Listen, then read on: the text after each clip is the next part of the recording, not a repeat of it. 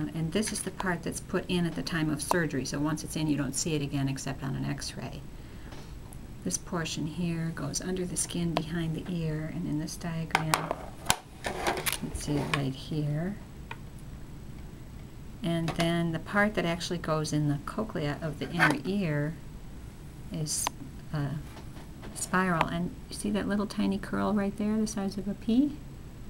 That's how big that is. That's the part that goes in the inner ear with the electrode bands uh, to which different pitches or tones are fed. Um, but once this is put in and sewed up, the uh, incision has to heal for three to four weeks before you can use the outside part, which is called the processor. And here's an example of a cochlear implant processor. And if you don't wear a processor on the outside, you can't hear anything with the implant. So a child who's been implanted but not wearing an externally worn processor is as deaf as they were before they started, or even more so, because once you put the implant in the ear, your hearing is even worse than it was before, because there's now there's an implant in there until you wear something on the outside. Can you tell me a little bit about your meatball story? Well, I don't mm, really know it. What do you mean don't really know it?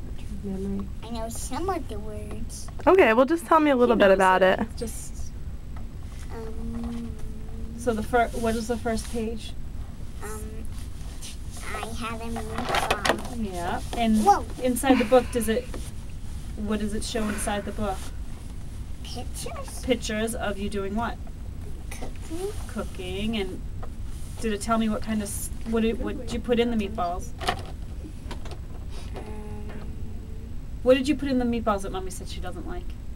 oregano? Oregano? I don't like oregano either.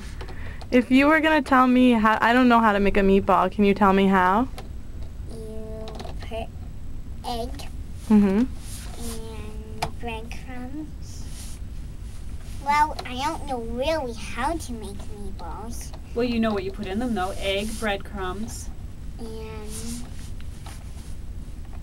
Tennis balls. beef. beef.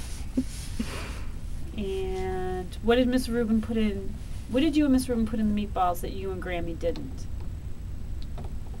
Green pepper. Green peppers, Yum. What else? Anything else? Eh, oregano.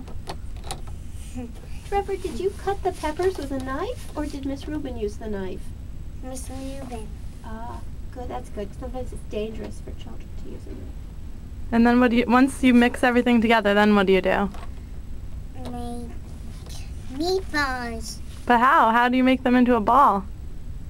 Roll them. Roll them with your hands?